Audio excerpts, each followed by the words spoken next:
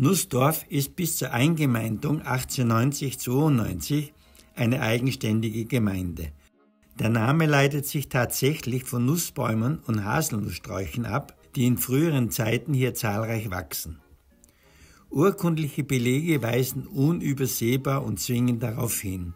Der Ort Nussdorf wird bereits 1081 urkundlich erwähnt. Damals erhält Markgraf Leopold von Österreich, Vogt des Bistums Passau, von diesen drei Höfe und 70 Hörige, darunter einen zu Nussdorf als Lehen. 1194 findet sich der Name Nutzdorf im Saalbuch von Stift Göttweg. Der Nutzberg wird 1226, der Nutzpach, der Nussbach, später Schreiberbach, wird 1297 erstmalig erwähnt. 1324 findet sich Nutzdorf am Nutzperig. Im 14. bis 16. Jahrhundert wird der Nussberg auch als Monte Nucum, ein Berg voller Nüsse, bezeichnet. Auch die alten Siegel der Gemeinde zeigen einen Baumstrunk, aus dem rechts und links je ein Zweig mit Blättern und Nüssen hervorwächst. Im Mittelalter sind die Bewohner Bauern, die im Wesentlichen für den Eigenbedarf produzieren, für den Verkauf wird Wein, aber auch Obst angebaut.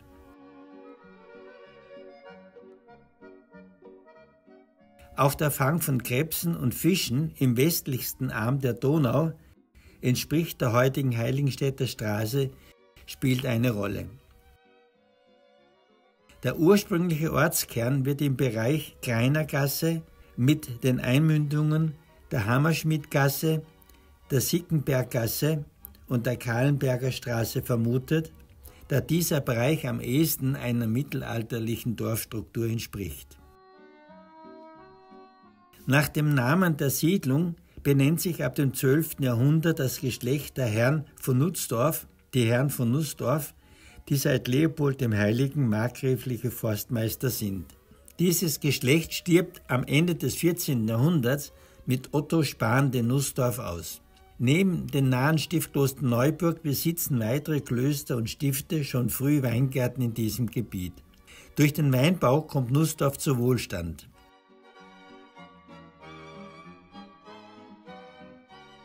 Neben dem Weinbau ist das Fährrecht, das heißt das Recht zum Transport von Waren und Menschen über die Donau, eine wesentliche Einnahmequelle.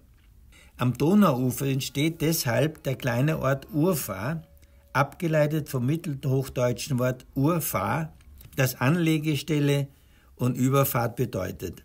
Der Name Urfahr findet sich zum Beispiel noch im Linzer Stadtteil Urfahr. Durch den Bau der ersten großen Donaubrücke 1439 verliert dieser Ort völlig an Bedeutung und verschwindet schließlich zur Gänze. Auf der Höhe Stadt Wien ist die Donau schon so verzweigt und versumpft, dass ein Übergang nicht möglich ist. Im Juli 1439 erteilt daher König Albrecht II. den Wienern das Recht zum Bau einer Brücke, die als mehrteiliges Bauwerk die bei Nussdorf beginnenden Hauptarme der Donau überspannen soll. Diese Brücke ist die erste Donaubrücke des Herzogtums Österreich. Weitere Brücken folgen bei Kremsmautern 1463, in Linz 1479 und Mauthausen bei Enz 1505.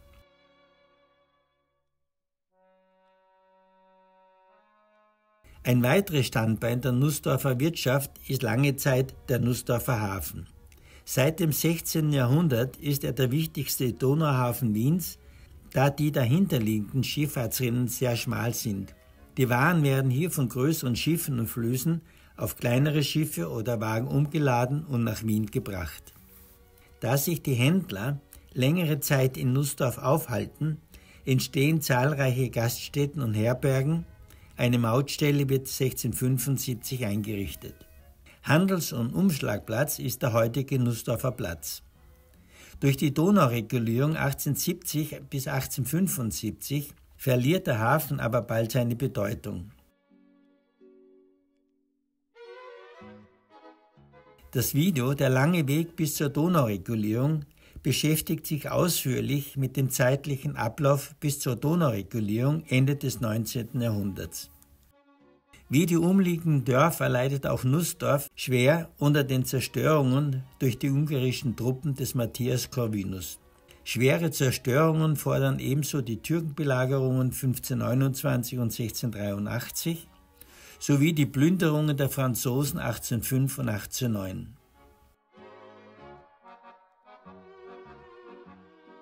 Kann sich der Ort von diesen Zerstörungen immer nur sehr schwer erholen, entstehen dennoch über die Jahre zahlreiche Wirtschaftsgebäude.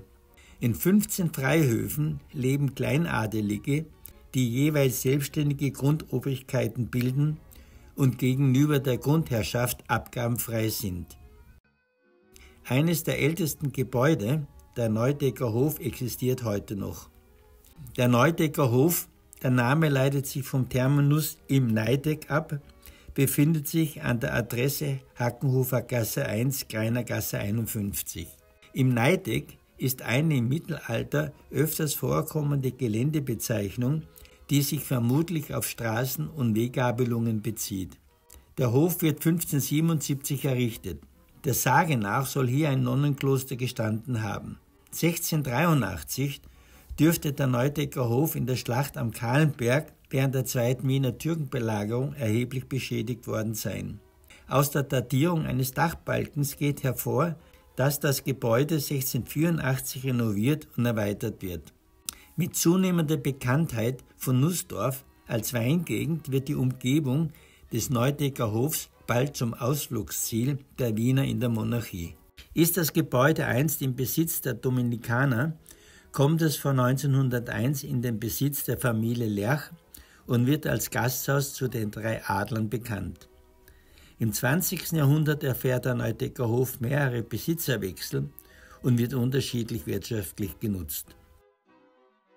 Das Anfang des 18. Jahrhunderts erbaute Sickenberg-Schlösschen auch bekannt unter dem Namen Nussdorfer Schlösschen oder Maria-Theresen-Schlössl, ehemals im Bereich Sickenberggasse 1, wird 1959, 1960 wegen angeblicher Bauschäden abgerissen.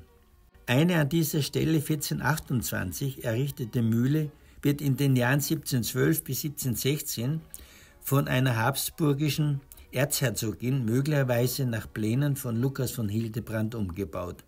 Allegorische Fresken in zwei Sälen werden Johann Georg Schmidt zugeschrieben. Das Schlösschen wird auch mit Kaiserin Maria Therese in Verbindung gebracht. Nach zahlreichen Besitzerwechseln wird das Gebäude von Hugo Stern erworben, der ab 1920 eine umfassende Restaurierung vornehmen lässt. 1926 wird im Schlössel eine Parteihochschule zur Ausbildung von Funktionären der Sozialdemokratischen Arbeiterpartei Deutsch-Österreich eingerichtet. Den Zweiten Weltkrieg übersteht das Schlösschen ohne nennenswerte Schäden. Auf die Arisierung und die darauffolgende Behandlung als deutsches Eigentum durch die sowjetische Besatzungsmacht ist das Schlösschen nach 1945 für Zwecke der Kommunistischen Partei Österreichs zurückzuführen. Wird das Sickenberg-Schlösschen im Dehio Kunstführer von 1954 unter den Profanbauten Nussdorfs noch an erster Stelle genannt, kommt es 1959, 1960 zum Abbruch, der durch Gebäudeschäden begründet wird. Das Leher Schikanederschlössel in der Hagenhofer Gasse 18 ist ursprünglich der Königstädtner Freihof der nach mehreren Besitzerwechsel 1737 in den Besitz von Hofkamerad Joachim Georg Schwandner kommt. Joachim Georg Schwandner lässt den Freihof umbauen und gibt ihm im Wesentlichen sein heutiges Aussehen. Nach weiteren Besitzerwechsel 1756 bis 1779 ist das Haus unter anderem im Besitz des kaiserlichen Leibarztes Paul Michael von Zwenkhof 1779 bis 1785 in jenem des Feldmarschalls Wilhelm Freier von Kettler. Von 1802 bis 1812 wohnt hier mit Unterbrechungen Emanuel Schikaneder, Librettist von Mozarts Die Zauberflöte.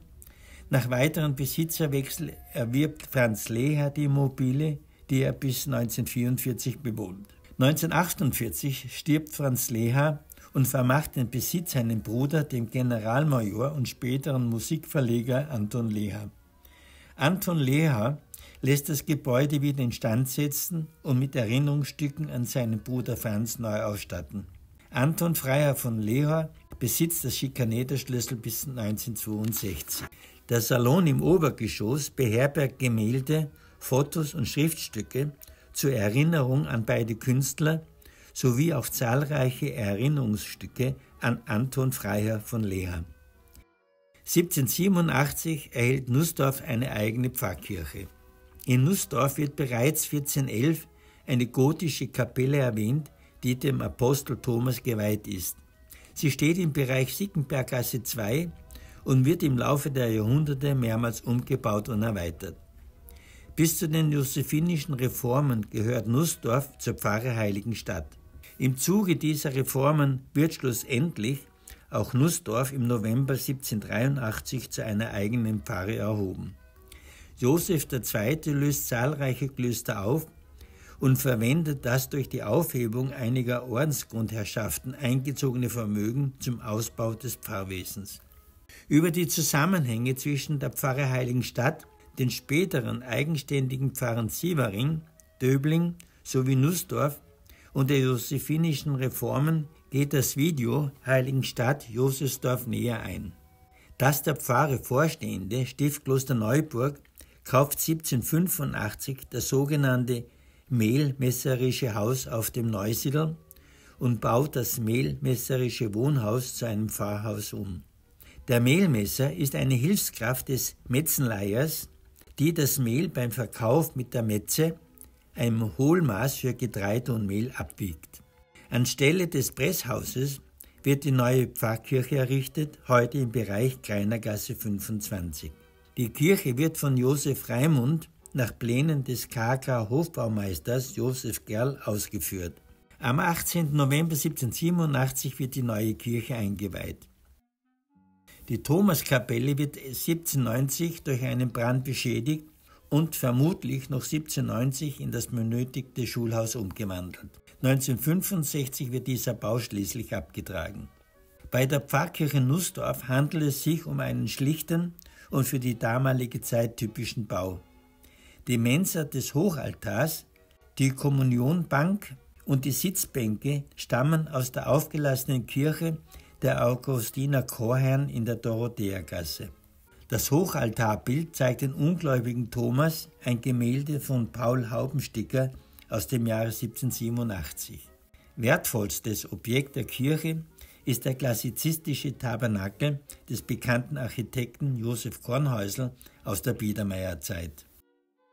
Weinbau macht, wie bereits vorhergehend erwähnt, die Nussdorfer Wohlhaben. 1820 sind mehr als die Hälfte der Nutzfläche mit Weingärten bedeckt. Es gibt aber auch eine erfolgreiche Bierbrauerei. 1819 wird die Nussdorfer Brauerei im Bereich der Hackufergasse 9 errichtet. Das Brauereigebäude wird ursprünglich 1690 vom Jesuitenorden als Kollegium für Studenten der Theologie erbaut. Nach der Auflösung des Ordens 1713 dient das Gebäude in der Folge als Waffendepot. 1819 kommt das ehemalige Jesuitenkollegium in den Besitz von Franz Xaver Bosch. Teile des Kollegiums, wie zum Beispiel die ehemalige Kapelle, werden erhalten und in die neu gegründete Brauerei integriert. Bosch ist als Bierbrauer erfolgreich. 1842 errichtet Franz Xaver Bosch in der Eichelhofstraße 3 den Bockkeller, dazu einen Biergarten und einen hölzernen Aussichtsturm mit Blick auf die Donau und den Wienerwald. Der Turm brennt im Zweiten Weltkrieg ab. Über die Jahrzehnte ist das Unternehmen äußerst erfolgreich und wird laufend modernisiert. 1890 wird das erste überhaupt in Brauereien existierende Arbeiterwohnhaus errichtet.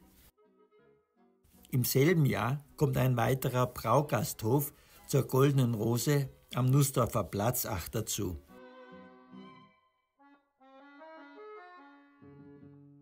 1893 wird ein zweites Arbeiterwohnhaus für die verheirateten Arbeiter erbaut, mit 20 Wohnungen, zu denen jeweils ein kleines Gärtchen gehört.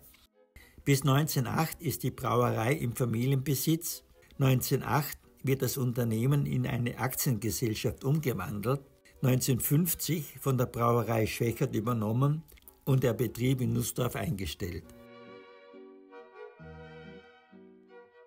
Heute erinnert in Nussdorf die Bachofengasse und die Bockkellerstraße an die Nussdorfer Bierbrauerei. 1870 wird die Franzosesbahn am rechten Donauufer eröffnet. Die Franzosesbahn verbindet ursprünglich Wien mit Eger, heute Cheb, in der Region Karlsbad, Tschechien und wird von der KK privilegierten Kaiser Franzosesbahn erbaut und bis 1884 von dieser Gesellschaft betrieben. Die KK privilegierte Kaiser Franzosesbahn, kurz KFJB, deren Streckennetz in den Kronländern Niederösterreich und Böhmen liegt. Die Hauptverbindung der Gesellschaft verläuft von Wien über Gmünd, Budweis und Pilsen nach Eger. Eine Zweigstelle von Gmünd stellt zudem eine direkte Verbindung von Wien nach Prag her. Initiator der Bahnlinie ist der Großgrundbesitzer und Diplomat Johann Adolf II. Fürst Schwarzenberg, der vom Pilsner Becken Steinkohle nach Wien transportieren will. Der Spatenstich der 455 Kilometer langen Bahnlinie zwischen Wien und Eger findet am 18. November 1866 nahe dem Meierhof Wondrow bei Schloss Frauenberg in Tschechien statt. Die veranschlagten Baukosten von 81.576.600 Gulden werden über eine Aktiengesellschaft aufgebracht. Das erste Teilstück zwischen Pilsen und Budweis wird am 1. September 1868 eröffnet. Am 1. November 1869 ist die Teilstrecke Budweis-Eggenburg fertiggestellt. Am 23. Juni 1870 wird die Strecke von Eggenburg nach Wien in Betrieb genommen. Der Bahnhof Nussdorf wird gleichzeitig mit der Inbetriebnahme der Franzosesbahn auf dem Abschnitt Eggenburg-Wien am 23. Juni 1870 eröffnet. Das ursprüngliche Aufnahmegebäude wird 1900 durch einen großzügigen Neubau ersetzt. Für diesen Neubau wird die Bierhalle Nussdorf, das ehemalige Lambergschlössl, 1889 abgetragen. Das reizvolle, zweistöckige Schlösschen mit Mansardenwalmdach wird ursprünglich 1750 vom Fürsten Franz Anton von Lamberg errichtet. Im Hinblick auf die Weltausstellung 1873 ist eine Zahnradbahn von Nussdorf ausgehend auf den Kahlenberg geplant. Aufgrund diverser Formalitäten verzögert sich jedoch der Baubeginn der Bahn und somit auch die Eröffnung der Bahn bis nach der Weltausstellung. Nichtsdestotrotz macht die Zahnradbahn auf den Kahlenberg Nussdorf im 19. Jahrhundert zu einem beliebten Ausflugsziel der Wiener. Die Zahnradbahn auf den Kahlenberg ist von 1874 bis 1919 in Betrieb. Im Juli 1885 wird zur Verbindung Wien-Nussdorf die knapp 4,4 Kilometer lange Dampftramway-Linie Nussdorfer Strecke vom Mehringer Gürtel ab Sternwartestraße über Heiligenstädter Straße und Lichtenwerder Platz nach Nussdorf in Betrieb genommen. 1903 wird die Linie von der Gemeinde Wien übernommen und elektrisch betrieben, seit 1907 mit der Bezeichnung Linie D. Zum Thema Kahlenbergbahn sowie zum Thema Geschichte der Wiener Straßenbahn erzähle ich mehr in dem Video Kahlenbergbahn und Drahtseilbahn Leopoldsberg und dem Video Die Wiener BIM von 1840 bis 1938.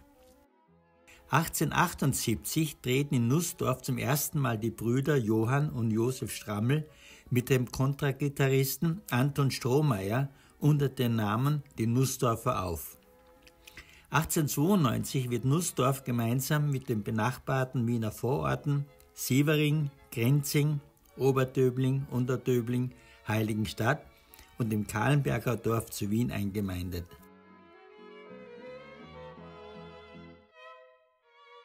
(1894) beginnt der Bau der heute denkmalgeschützten Nussdorfer Wehr- und Schleusenanlage an der Abzweigung des Donaukanals von der Donau.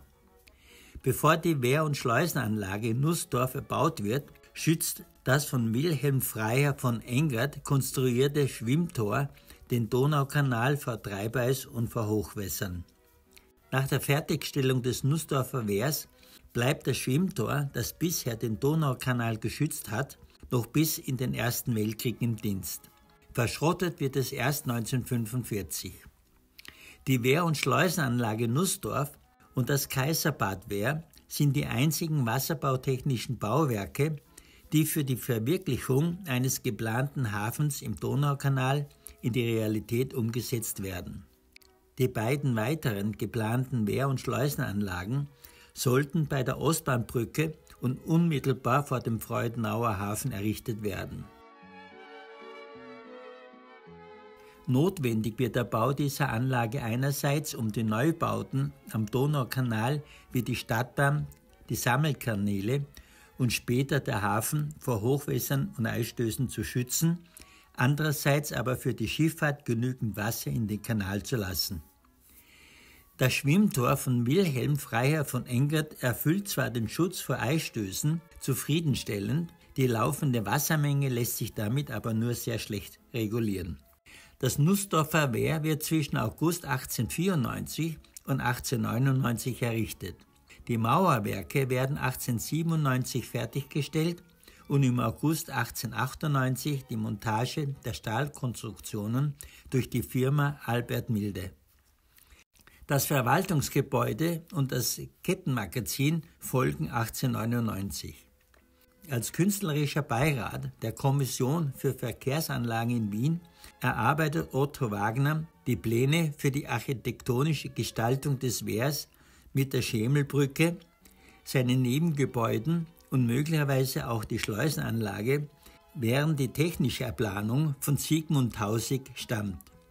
Aufgrund der exponierten Lage an der Abzweigung des Donaukanals von der Donau zum Stadtzentrum von Wien sieht Otto Wagner das von ihm gestaltete Wehr als Stadttor und stattet es dementsprechend repräsentativ mit machtvollen Pylonen aus, die Löwenfiguren, abgeleitet von chinesischen Wächterlöwen aus Bronze von Rudolf Weyer tragen. Diese Löwen waren Modell für das Firmenlogo von Gref und Stift. Auf die Firma Gräf und Stift, die ihren Stammsitz in Sievering hat, gehe ich in dem Video Sievering Historisches Wien näher ein. Baubeginn für die Nussdorfer Schleuse ist ebenfalls im August 1894. Errichtet wird nicht nur die Kammerschleuse, sondern neu anzulegen war auch der Kanal. Die Schleuse ist bis heute in Betrieb.